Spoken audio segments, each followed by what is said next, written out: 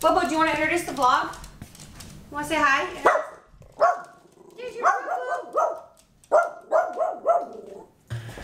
Hi! Bubs, for the love of God. Come here. You could be part of the video. This is about you today. Come here, I'm gonna get you. I'm gonna get you. Ooh. No. Hi, guys. Guess who's back on the West Coast? Am I? Oh, no. Why can't you just stop barking? I'm gonna put you in a microwave. I'm gonna put you in the microwave and I'm gonna turn it on.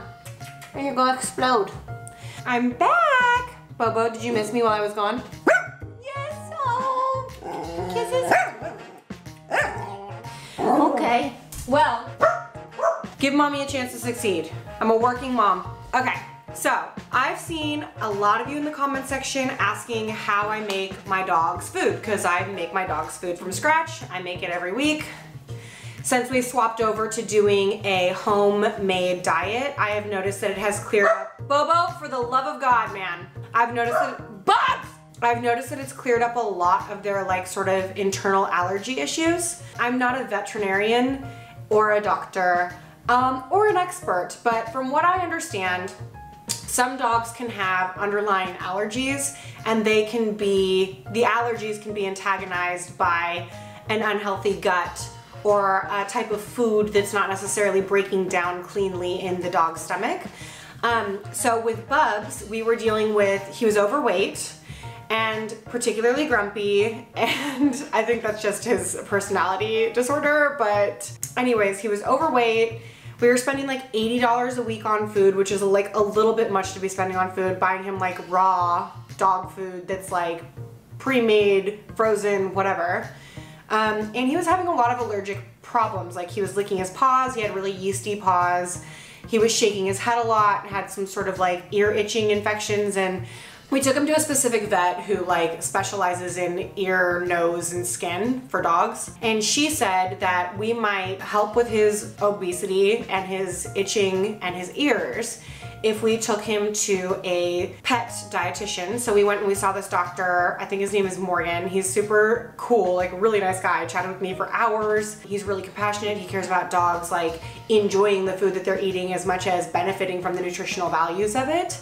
And I learned a lot from this guy. I actually learned that most dog foods, kibbles and things like that don't have to be, like human food has to be approved by a, a government entity as being edible and good for us. Dog food doesn't. Dog food can literally cause dogs to have cancer and die and not be nutritious and they don't care. And that's pretty sad. And so, you know, in order for my dogs to live their best lives and for longevity and things like that, I did a blood test for uh, Bubs and we figured out what was going on internally and what was good for him, what was bad for him. And then we started um, trying out different meal plans.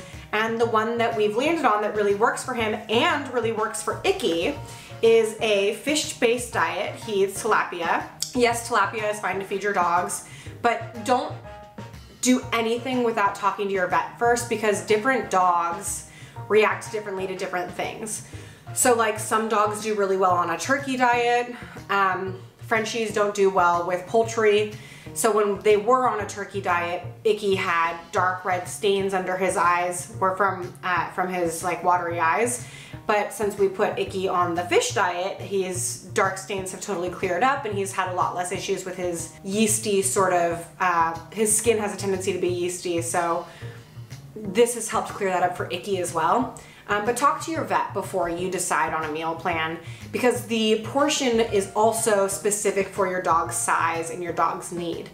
So we literally weigh out everything that we give Bubs in the meal each week. Same with Icky. They have two separate bowls that we keep the food in the fridge in and they're different because they have different needs. On top of that, we have supplements that we got and those supplements were specifically chosen for Bubs's uh, blood type and like what he really needs and we give him a couple of um, joint supplements on top of it. My vet just said that she starts giving her dogs joint supplements when they're like two years old to start combating arthritis early. Specifically for Icky, these are really good because French Bulldogs' bodies are stupid, which is a nightmare. Gosh, I'm so winded. I don't know. I get, I'm, I'm like, I get kind of jazzed to talk about this because I'm the weird girl at the party who used to be like, oh, does your dog have a hooded vulva too? But it's like, we all have our things.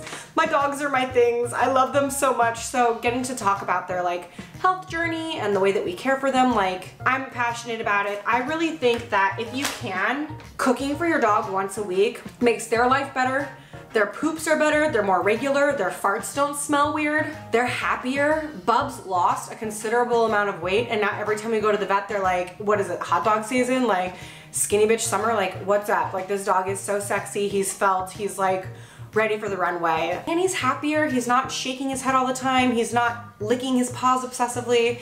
And the same is true with Icky, like it cleared up a lot of Icky's yeast problems. In addition to shampoos and special mousses, Icky has his own allergy issues. And we're actually about to go down that road with him because he broke out in hives or what I thought was hives and hives can be really bad so you take them to the vet, blah, blah, blah. Icky doesn't actually has hives. He's having an allergic reaction to dog dander, my motherfucker is allergic to dog dander. He's a dog that's allergic to dog, I don't get it. Anyway, that being said, this is my dog food recipe for Mr. Bubs. He gets broccoli, oatmeal, zucchini, carrots, and then these three supplements. The Balance It Carnivore Blend, the Omega-3 Pet for medium to large breed dogs, and safflower high linoleic oil. And all of these things were put together, this entire recipe was put together by a veterinary professional. He specifically studies diets for dogs and um, he this is his life, this is his joy, this is his passion. And I did not come up with this on my own, um, but it does really work for my family. And what used to be like an $80 trip to the pet store to get fancy food for Bubs once a week has now turned into like between 25 and $40 when I go to Costco and just pick up these things in bulk.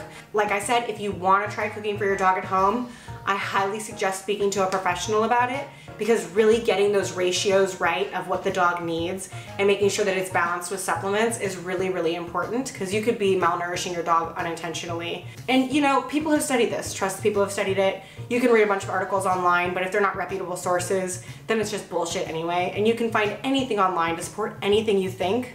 So it gets really confusing and hard. Like when I was just flying blind, making their food at home, making it up as I go, you I like I read one place that coconut oil is good for dogs and then another place is like don't give your dogs coconut oil they'll their brains out and die.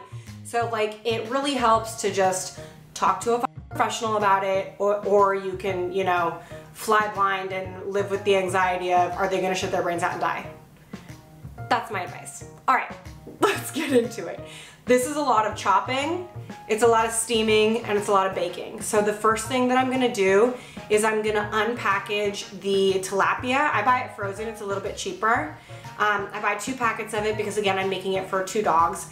Icky basically gets double the recipe that Bubs does. So I unpackage the fish and put it onto baking sheets with parchment paper and I set the oven to about 400 degrees. And there is a specific temperature that I'm supposed to get the fish, but really I just wait till it's like golden brown and you can tell that cooked and that's how I do the fish. So let's preheat the oven and get that fish game going.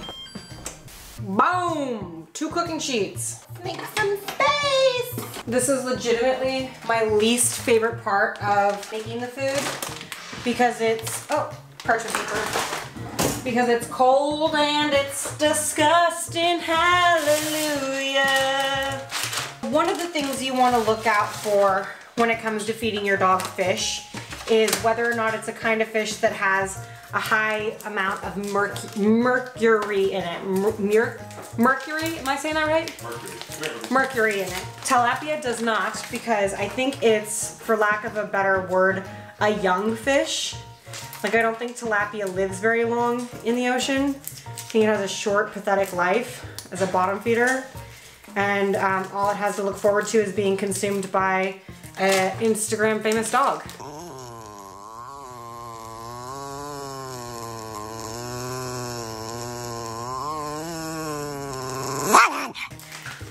So if you are gonna make like your own dog recipe, which I, again, I do not I do not think that it's a good idea to go rogue and make your own plan. But if you do, just definitely look into whether or not the type of fish that you've chosen has a high level of mercury in it, especially if you're if it becomes your dog's primary protein source, because uh, that could end badly. It's about at this point that my fingers start feeling like Jack in the Atlantic, wondering why it is I try so hard for dogs that don't even say thank you.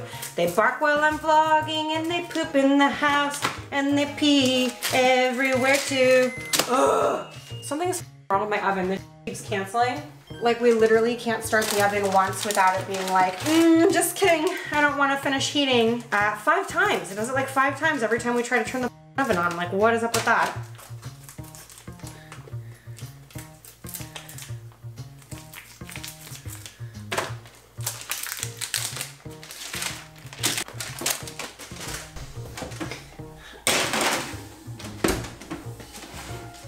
Okay, you can't really up this fish part. I don't set a timer. At some point, I might smell it. That smell is enough for me to know it's done. And now while that cooks, I'm gonna start steaming the broccoli because I don't cut the broccoli. And that way, while the broccoli's steaming, I'm chopping something else that I can put in immediately after. I like to try and keep a good flow going because it can take forever if you don't have a good workflow. And I clean the dog food bowls. If you don't clean your dog's bowl every day while you're feeding them food like this, like bacteria can grow on it and they can get really sick. So I'm gonna empty out their old dog food bowls, put the broccoli on, and start chopping.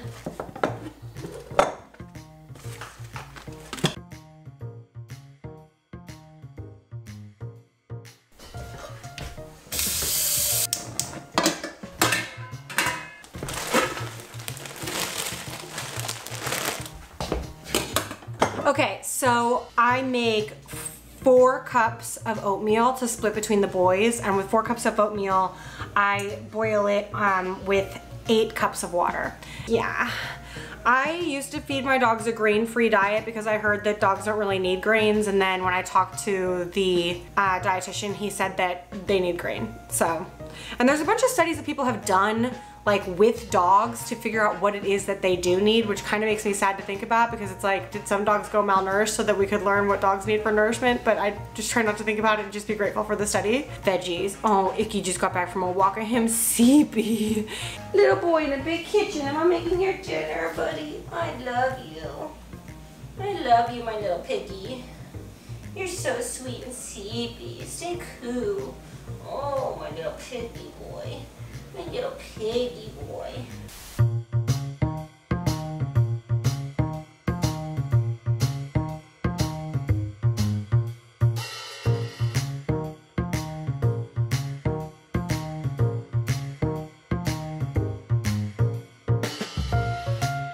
Okay, now we're gonna check the broccoli. We're not gonna touch it with our bare hands because we'll get a third degree burn. Let's see if this is or not. I like to use like a blunt object to check it because that's when you know it's soft as hell. If it can slice through without being a blade blade. So I take this butter knife and, oh, yep, slides right in.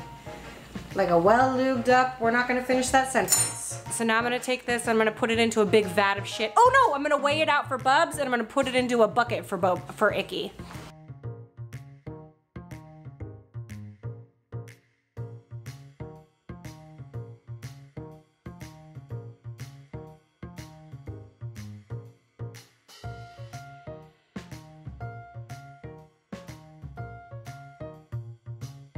Okay, so we are really close to being done. We added the oatmeal to the bowl. We weighed it out. Bubs gets 700 grams of oatmeal per week. And I think now's as good a time as any to check on the tilapia in the oven. And we put the zucchini to boil or to steam. And now I'm chopping the carrots. Oh, tilapia's still cooking. Glass is steaming. We're gonna let them stay in there. Oh, did you wanna see? They're, can you see? They're, they're not golden brown yet. I like to have them be a little bit golden brown. That's how I know they're cooked. Um, so I'm gonna finish chopping the carrots and swap them out with that zucchini when it's time. But we are nearing the end of this and it's not that hard. Like, once you get in the groove of it, put a podcast on, listen to the sip, like, it's not that hard. Our dogs are on this earth for such a short period of time and all they do is love us with every fiber of their being. So the least we can do is cook them some bottom feeder fish and oatmeal. Do you know what I'm saying? Right, Bobo? Yeah, he's just a little dog on a kitchen floor. Oh, oh, oh. Okay, now um, I just have the oatmeal and the broccoli in the boys' bowls. I'll start to mix it because you basically, you really should put it in a food processor, but I don't have a food processor. So the is part of this whole ordeal is that I have to hand mix this and you wanna mix it well because you wanna make sure everything's evenly distributed. So I start mixing early because the oatmeal hardens, number one. Number two, the more in there, the harder it is to mix it all up. So I do it basically like layer by layer whenever I think to like, oh, I thought to, I'm gonna mix it up. So I just thought to, so let's go, you guessed it, mix it up. Oh.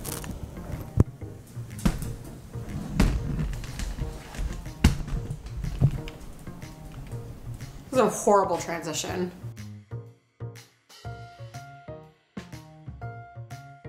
Okay, I just got the urge to check the fish again. We're looking golden brown on the tips, and I think that's enough. I'm gonna call it on the fish. That way it's still moist um, and it's cooked. See? Golden brown tips of my fish fins. See? See? You get it. That cooked. Now we go back to the scale. The dietitian was like, do you have a scale at home that can measure grams? And I said, ah, please, we've all gone through a drug dealer phase.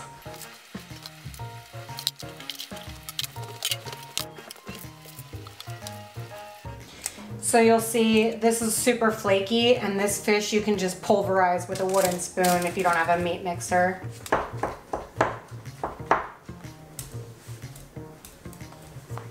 All right, guys, last but not least, the friggin' carrots. These bitches is steamed. Let's see. Yes, our blunt object goes right through them. They are not al dente, they are dente. Hot. And now we mix.